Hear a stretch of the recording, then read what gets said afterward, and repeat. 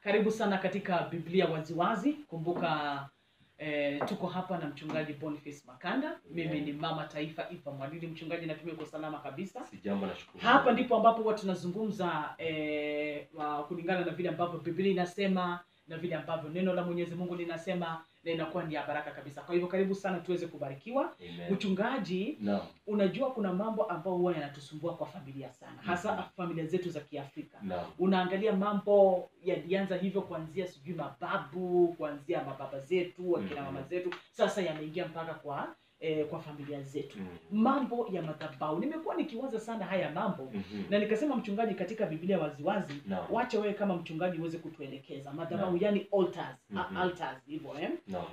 Tukianzia pale kwanza madhabahu ni nini altars ni nini Ah, madhabahu ni sehemu madhabahu tuko na madhabahu aina mbili. Ehe. Tuko na madhabahu ya kiroho Mm. na madhabahu ambayo yanaonekana. Mhm. Madhabahu ambayo yanaonekana watu wengi uh, dini zingine wanaita altari ama zingine zinaita ile sehemu mchungaji anahubiria. Mm. Lakini madhabahu utapata kwamba kila mtu Mhm. ana madhabahu. kila Mm. mtu Mtu. umeokoka ama haujaokoka Umeokoka, hujaokoka, Na- una madhabahu. Unajua, hujui, una Mm. madhabahu. Mhm. kwa sababu madhabahu ni sehemu ambayo kunakuwa na transaction katika ulimwengu wa kiroho Mm. hii transaction ya- hebu labda tungesoma andiko ndio tuweze ku, kuona uh, tu, tuanzie mahali pale Yeah, Naweza soma kitabu cha kitabu cha waamuzi uh, sura ya sita mstari wa ishirini na nne hadi ishirini na saba labda tuone inakuwaje. sita mstari wa ishirini na nne ishirini na nne okay naam ndipo gideoni akamjengea bwana madhabahu hapo mm -hmm. akaita jina lake yehova shalomu -hmm. hata hivi leo iko huko katika ofra ya waabizieri mhm. -hmm. kwa hivyo unapata ya kwamba Mm. gideoni alimjengea mungu madhabahu eh, na eh, unaposoma kuteremka unapata kwamba akaja akaua wanyama Mm. akaempower hayo madhabahu Mm. na kile ambacho yafaa ujua kwamba ni kila madhabahu Mm. yana vitu ambavyo vinafanya kazi katika madhabahu ha- yale jambo la Mhm. kwanza Mm. kila madhabahu yana sauti mm -hmm. kila madhabahu Mm. -hmm. yana kazi ama assignment ambayo yamepewa kutimiza it mm -hmm. has Mm. an assignment Mm. -hmm. kila madhabahu yana kuhani hakuna mm -hmm. madhabahu ambayo hayana kuhani na hii Mhm. tumeongea kuhusu wale ambao wameokoka na hata Mm. hawajaokoka hakuna madhabahu ambayo hayana kuhani kila Mm. madhabahu iko na kuhani Mhm. jambo la nne ya kwamba kila madhabahu aidha ina malaika ama ina pepo Mhm. ina malaika ama ina pepo aidha na malaika ama ina pepo ni kwa sababu kulingana na ufalme upi ambao unatoka ndani.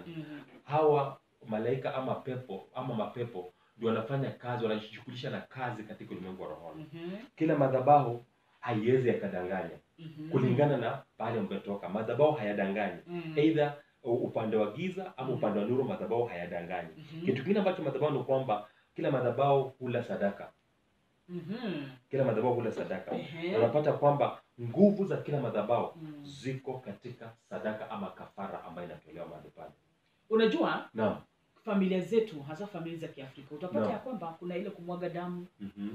hata wakati ambapo watu wanaenda tuseme mambo ya kindoandoa hivi no. eti kwetu lazima tuchinje mbuzi Mhm. tumwa, ama tuchinje ng'ombe tumwange damu mambo kama hayo hayo bado ni madhabahu hayo bado unajua damu huwa haimwagiki bila sababu Eh. kwa hivyo kwa damu inapomwagika Mm. wanajaribu kuempower ama kutia nguvu Mm. madhabahu fulani ambayo yamekuwa akiishi Mm. kwa hivyo wakati wote ambapo unaona damu inamwagika -hmm. kuna sababu Mm. ndipo hata msalabani damu yesu haikumwagika bure Yes. ilikuwa inaashiria kitu Mm. vile vile katika madhabahu unapata kwamba wanaempower unajua kila madhabahu ina mungu. Na huyo mungu pia hutaka kukula. Mm -hmm. sasa unapata madhabahu ya giza pia mungu wao ambao ni shetani pia anapenda kukula. Na anakula damu. Mhm. sasa unapoona damu inamwagwa pale hiyo mm -hmm. ni kwamba damu inatumika mahali pale ili aweze kukula. E, hebu niambie. Naam. Madhabahu madhabahu. Mm. kwa kuna kuna kuna kuna mwel, uh, nitatumia neno lipi kuna mahali ambapo madhabahu huwa yanalenga. Yaani kuna Naam. katika familia zetu naam kwa sababu madhabahu yako katika familia. Mm -hmm. kuna mahali ambapo yanalenga. Kuna mtu ambaye analengwa kuna ama vipi? Uh, madhabahu madhabahu unajua kazi ya madhabahu mm. kama ni madhabahu mazuri ma, madhabahu yote siku zote ni kuempower mwanadamu na inaguza sehemu mbili ambazo ni hatari sana. Sehemu ya Mhm. kwanza Mm. ni wazaliwa wa kwanza. Eh, wazaliwa wa kwanza. Wazaliwa wa kwanza. Jambo la pili ni nyota za watu. Hebu tuelezee uh, utapata, Firstborns. Mm -hmm. utapata kwamba firstborns kulingana na mila za kiyahudi unapata Mm. tunaashiriwa kwamba firstborns kazi yao ilikuwa ni uh, ukiwa kama firstborn unashikilia baraka ama sehemu ya maradufu Mm. ya familia yenu ya kizazi chenu kizima mm -hmm. na wewe ndio uzao wa kwanza nguvu za mwanamume ama za hiyo familia za kwanza Mm. hivyo basi naashiria kwamba umebeba baraka za familia nzima Mm. kwa hivyo kuna familia mingi leo hii utapata wanasema wanaita huyu mtoto ni firstborn wangu lakini unapata katika ulimwengu wa rohoni Mm. aidha huyu dada aliafya mimba Mm. firstborn akamuua Mm. kwa hivyo huyu anayeitwa firstborn si firstborn tena labda ni second labda ni second born Mm. lakini anaita firstborn kwa sababu Mm. watu hawajui mm -hmm. na unapata kwamba kila firstborn ambaye ni wa halali huwa ana encounter opposition na vita Mm. -hmm. ni kwa sababu amebeba uzao wa hiyo familia mm -hmm. na ndiposa katika bibilia mara kwa mara unapata wana, hata wakati wa kubariki watoto Mm. -hmm. ulikuwa unapanga firstborn mkono wa kuume mm -hmm. wa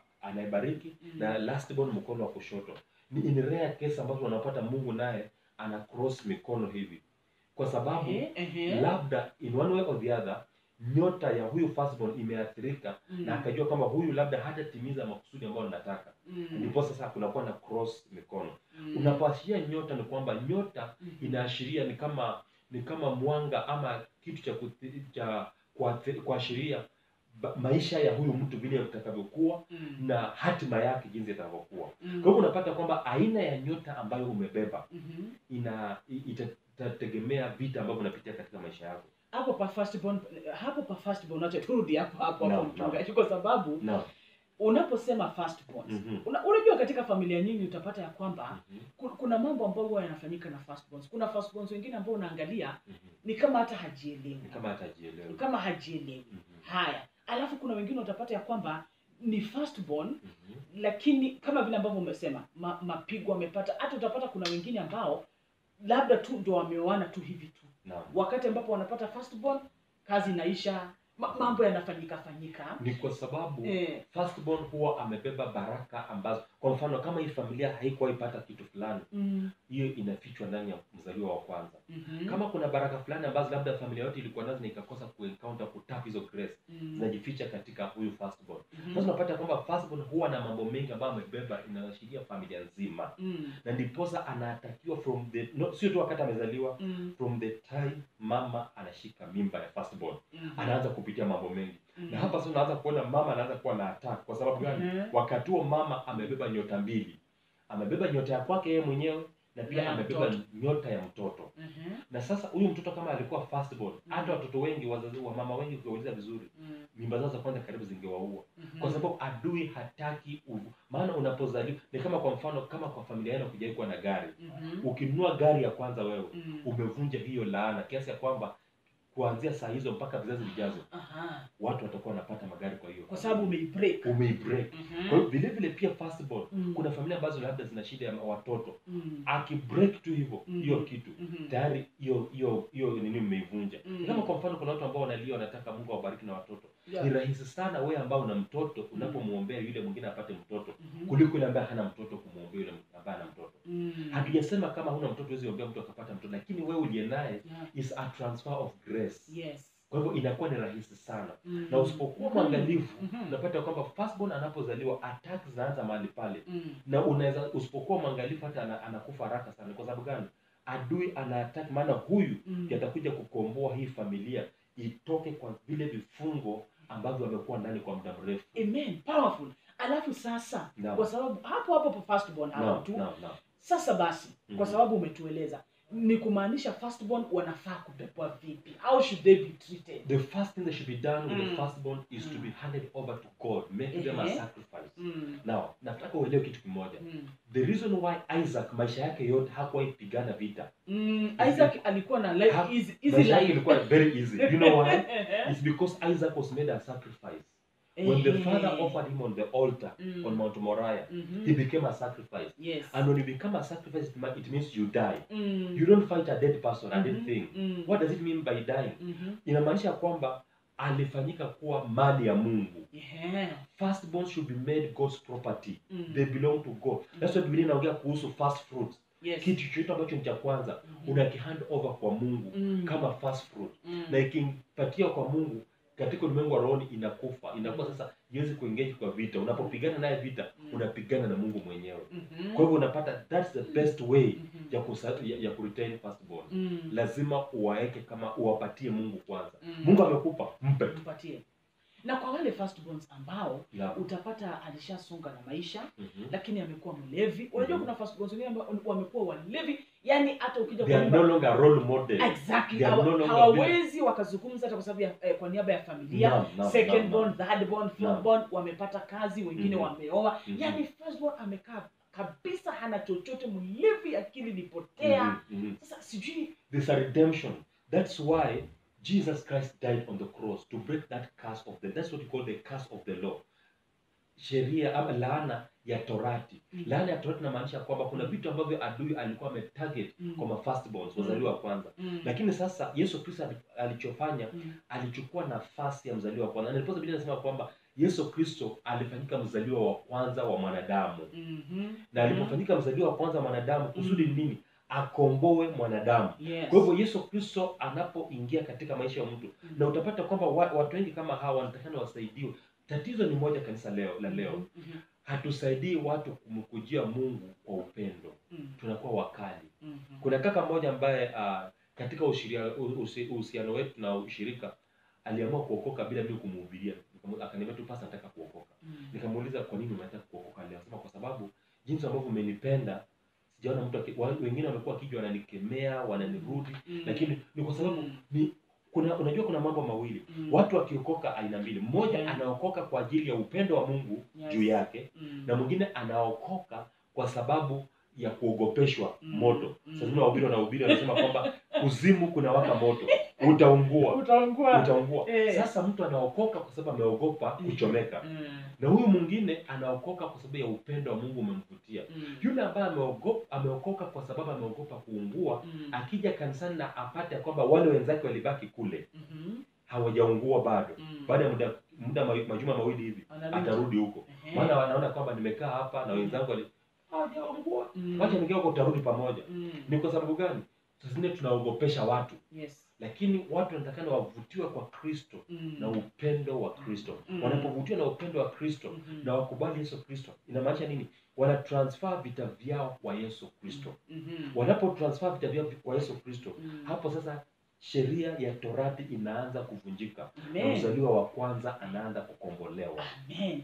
Kwa hivyo kuna tumaini kwa mtu ambaye anatutazama. kuna tumaini kwa mtu ambaye anatutazama leo Yeah, ijapokuwa yeah. Mm. mwanzoni ilikuwa vibaya Mm. na yesu alikuja kama kila kitu kingekuwa kizuri yesu angekuja Yeah. yesu alikuja kwa sababu mambo yalikuwa yameharibika Mm. na kwa sababu hiyo akaja ili aweze kukomboa wanadamu Mm. naam Amen. Amen. Amen.